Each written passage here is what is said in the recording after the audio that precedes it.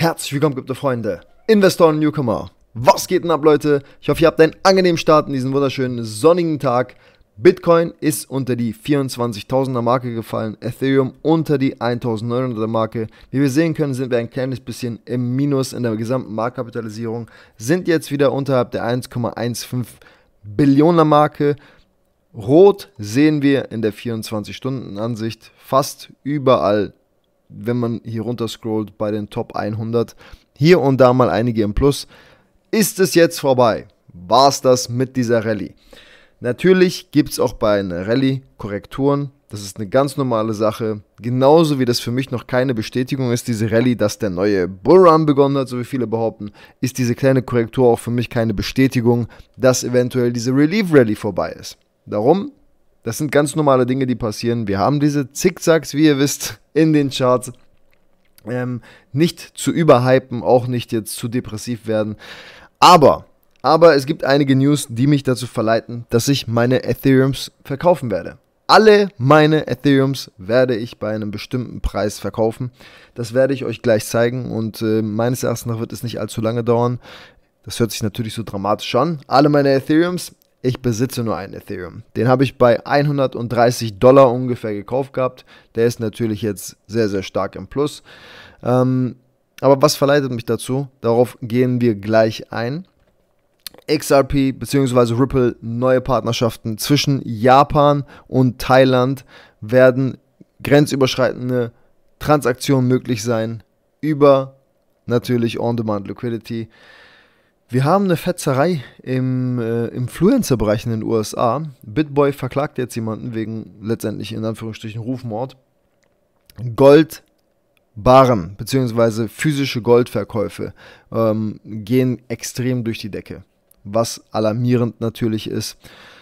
Ähm, die, das Verhältnis zu, zu, den, zu den Einnahmen, zu den Gehältern, die die Menschen zurzeit haben und der Hypothekenzahlung ist komplett ausgerastet und zu einem Niveau, die den 2008er äh, Finanzkrisebereich komplett in den Schatten stellt. Ähm, gucken wir uns mal an, Leute. Gucken wir uns mal in welche Richtung das geht. Das Video werde ich äh, kurz halten. Bei den Charts werde ich ein kleines bisschen drauf eingehen, ähm, warum ich genau diese Preistargets bei Ethereum wähle, wenn ich komplett rausgehen werde. Und in diesem Sinne, genießt das Video, Leute. Okay, gucken wir uns mal an. Was ist denn hier los?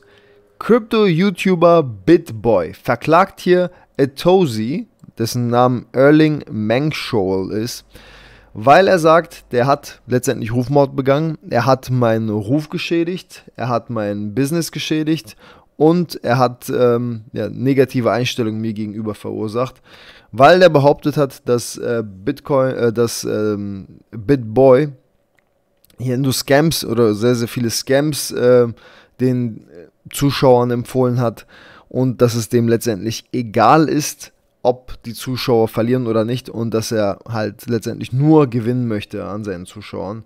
Das lässt sich Bitboy jetzt nicht mehr gefallen und äh, hat ihn verklagt. Es gibt einen, der heißt äh, ZechXBT.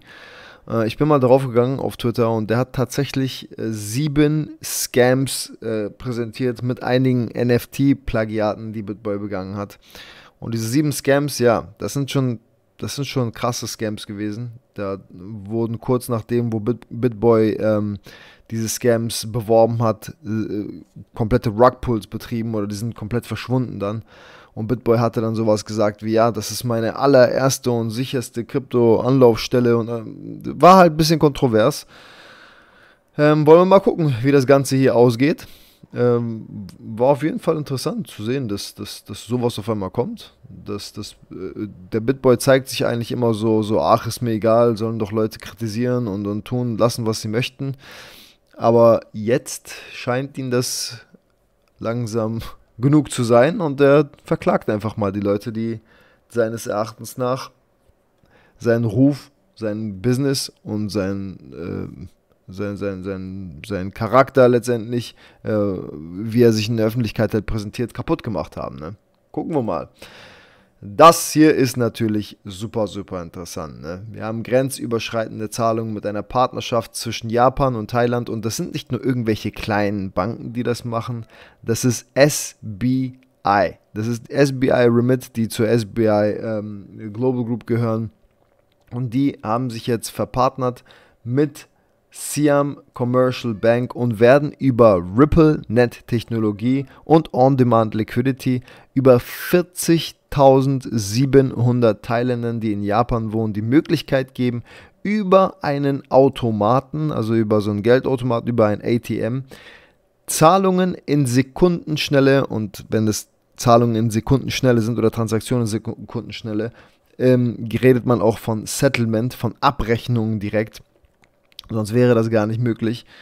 Ähm, das heißt, mit einer sehr, sehr hohen Wahrscheinlichkeit wird XRP hier auch im Spiel sein. Vorher konnten äh, sie diese Transaktion meistens nur mit Cash durchführen und jetzt können sie es innerhalb von Sekunden zu wesentlich, wesentlich kleineren Gebühren über ATMs selber durchführen. Es geht weiter in die richtige Richtung mit Ripple und das war das, was so alarmierend ist. Die blaue Linie repräsentiert hier die, die Hypothekenzahlungen. Die rote Linie ist der Prozentsatz von, von Einkommen der Menschen ähm, zu diesen Hypothekenzahlungen. Jetzt schaut euch das mal an. Zum allerersten Mal haben wir, was heißt zum allerersten Mal? Also zum ersten Mal, wo das so stark ausgedriftet ist, war in dieser Phase. Und was war das für eine Phase? Das war die 2008er, 2009er ähm, Wirtschaftskrise verursacht durch äh, diese Immobilienblase. Und was ist hier passiert? Wir sehen eindeutig, die Einnahmen der Menschen, die haben langsam aufgehört, äh, beziehungsweise die haben hier nicht mehr gereicht, um die Hypotheken zurückzuzahlen. Und das hat schon so einen starken Crash verursacht gehabt. Ähm, was ist jetzt los, Leute? Jetzt schaut euch das mal an. Also wenn das hier, so ein kleiner Drift schon dafür gesorgt hat, dass wir so eine starke Wirtschaftskrise gesehen haben, relativ stark, ja, was wird dann jetzt passieren? Wie sieht denn das jetzt aus, Leute? Guckt euch das mal an, was für ein Updrift das ist. Sieht nicht positiv aus. Sieht nicht positiv aus, Leute. Und das hier hat mich mal wieder komplett umgehauen. Wir hören über Celsius, wir hören über Voyager, wir hören über BlockFi, A, äh, äh, Free, äh, Free Arrow Capital, wir hören über Terra Luna. Das hier nimmt schon wieder neue Höhen an.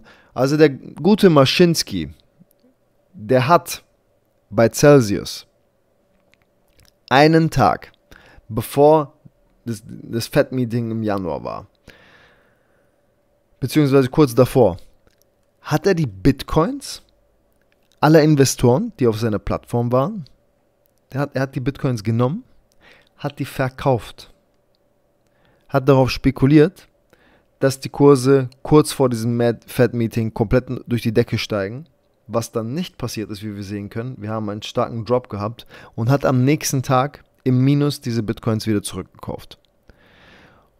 Damit man halt nicht erkennt, dass die Bitcoins weg sind.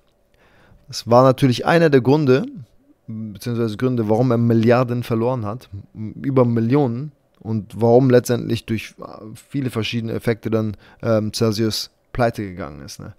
Darum Leute, passt bitte auf, wo ihr euer Geld hinschickt. Egal welche Plattform es ist. Ich traue nur meinem Nano Ledger X. Link in der Videobeschreibung, kostet euch nicht einen Cent mehr.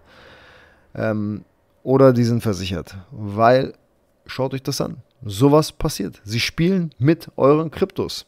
Ohne dass ihr es wisst. Richtig widerlich. Und sowas kommt einfach nur in, in, der Klage jetzt raus, ne, wo, wo da drin steckt. Das hier ist auf jeden Fall etwas, worauf wir achten sollten. Das ist der SP 500 und das ist der 10 Tage gleitende Durchschnittswert, wenn es darum geht, ob äh, Calls oder ob Puts gelegt werden. Und wie man sehen kann, sowohl Hedgefondsmanager als auch Retail-Investoren wetten hier gegen den Markt. Die sagen, nein, wir wetten eher auf einen fallenden Kurs, wie wir hier sehen können. Sehr, sehr starker Anstieg. Und hier wird gesagt, ja, das ist 2020 auch passiert. Wir haben diese Höhen erreicht, die wir 2020 hatten, hier bei der äh, Corona-Phase. Und da haben auch die meisten gegen den äh, Trend gewettet, dass wir hier langsam Anstieg hatten. Haben gesagt, wir werden weiterfallen und wir wissen, was dann passiert ist. Wir haben eine riesen Rallye hingelegt, All-Time-Highs gesetzt. Ähm, ich bin der Meinung, dass es jetzt nicht sofort nach unten gehen wird. Ich bin der Meinung, wir werden noch einen weiteren Anstieg sehen. Ob wir beim S&P 500 auf einen Blow of Top kommen, das weiß ich nicht, aber ich glaube, dieser Anstieg wird künstlich weitergehen, obwohl die Wirtschaft komplett am Zerbrechen ist. Es wird noch künstlich aufrechterhalten und dann wird das Ganze auch platzen, aber wie es platzen wird. Die Frage ist einfach nur, wann. Aber diese Relief Rally hört jetzt nicht einfach so auf. Und das hier ist natürlich ein extrem, extrem ähm, gefährliches Zeichen und gibt uns eine sehr, sehr starke Warnung. Schaut euch das mal an. Das ist der 200 Tage der 100 Tage und der 50 Tage ähm, gleitende Durchschnittswert, wenn es darum geht, wie viel physisches Gold ähm, entnommen wird. Und jetzt schaut euch das mal an. Schaut euch das mal an. Also es sieht aus, als ob in Panik versucht wird, Gelder in Gold zwischenzuspeichern. Ähm, das ist gefährlich, Leute. Ich habe es euch gezeigt gehabt, dass mehrere große Regierungen, sowohl China, Indien, die ganzen BRIC-Staaten, die stapeln ihr Gold auf, die stacken ihre Goldreserven auf. Während wir hier über uns irgendwelche komischen, komischen Dinge Gedanken machen, laden diese Riesenregierungen ihre Goldreserven auf, um sich abzusichern gegen einen kommenden Crash. Viele, viele folgen dem jetzt auch. Das sind extrem starke Warnzeichen. Das sind extrem starke Warnzeichen, Leute. Sieht für mich nicht so positiv aus. Und jetzt kommen wir zu der Thematik, warum ich mich von den Ethereum trennen werde. Die Ethereum-Miner wollen sich nicht geschlagen geben. Die wollen im September, kurz vor dem Merge, einen Hardfork verursachen. Was wird das dann? Wird das dann Ethereum 3.0 oder, oder wie kann man sich das vorstellen? Ihr versteht die Problematik jetzt halt, ne? Die wollen sich einfach nicht geschlagen geben. Die sagen auch, hey, wir werden nicht Ethereum Classic nutzen, weil das Ganze nicht so skalierbar ist, weil das Ganze nicht so stabil ist. Es hat zu viele Lücken, wie es in der Vergangenheit äh, gezeigt hat. Und das brauchen wir nicht. Wir bleiben bei Proof of Work und wir werden einen Hardfork verursachen im September, genau dann, wo ihr euren Merge durchführen möchtet. Und eine Sache dürfen wir nicht vergessen, sollten die Ethereum-Preise dann extrem in den Keller gehen, werden die Ethereums, die gestaked sind, sechs bis zwölf Monate verriegelt sein. Dann kommt man nicht daran. Und ganz ehrlich, das möchte ich mir nicht antun. Ich ähm, werde Ethereum bei ungefähr einem Preis, wenn wir, wenn wir über die 2100 Marke kommen, werde ich dort einen Stop-Loss setzen. Sollten wir da drunter fallen, dann wird das Ganze ausgelöst. Schauen wir uns mal an, das ist Ethereum im Weekly Chart. Wir testen hier genau den 21er wöchentlichen gleitenden Durchschnittspreis bei Ethereum an. Schaut euch das mal an. Wir haben den einfach mal komplett angenäht. Ähm, wenn wir uns angucken, wo wir uns Fibonacci-technisch befinden, von dem tiefsten Punkt gezogen, dann haben wir wirklich Key-Level hier erreicht gehabt, angetestet und gehen jetzt weiter nach oben. Schaut euch das mal an. Wir haben hier die 78,6 einmal angetippt, sind hoch, befinden uns gerade genau bei dem Golden Ratio, bei der 61,8. Ja, in welche Richtung kann es jetzt gehen? Entweder wetten wir darauf, dass es ein Reversal der Bullrun startet, was ich nicht glaube. Ich glaube, das ist eine Relief Rally. Die Frage ist halt, in welche Richtung wird sie gehen. Wir haben hier diesen, diesen Bereich, diese Trendlinie, die wir uns gesetzt haben, diesen Support-Bereich einmal angedippt, sind hier überhalb dieser, dieser ähm, Resistance-Niveaus hier äh, auch haben, halten uns beziehungsweise darüber auf, haben auch hier Resistance gefunden, sind dann durchgeschossen auf die obere Grenze und dann eingesagt. Ähm, ich finde, es ist nicht so positiv, wie sich das einige gerne ausmalen. Wenn wir uns das einmal angucken, Swing High, Swing Low, wo befinden wir uns da? Das wären ungefähr auch diese Bereiche hier, die 1400er Bereich, wo ich denke, bei der 38,2 dort in, um den Dreh werden wir einsacken, wahrscheinlich noch ein kleines bisschen vorher. Und es gibt noch ein weiteres Zeichen, was uns in der Vergangenheit eigentlich immer gezeigt hat, dass Ethereum einknicken kann. Das ist das hier. Das ist der monatliche, ähm, monatliche Chart von Ethereum. Und bei dem Bullrun 2017 war dieser Bereich hier komplett erreicht, der Tiefpunkt, als wir mit dem 13er monatlichen gleitenden Durchschnittspreis unter die 21er geraten sind. Das waren hier die Bottom-Bereiche. Und dann hat das eine ganze Weile gedauert, bis wir wieder hochgegangen sind. Wir sind kurz vor der Kreuzung. Wir sind kurz vor der Kreuzung, wie wir hier sehen können. Ähm, darum glaube ich, das ist eine Relief Rally und wir werden danach noch eine stärkere Korrektur sehen, wenn wir die Kreuzung hier eventuell erleben. Das Volumen scheint hier auch Monat für Monat einzusacken und spielt hier nicht wirklich mit.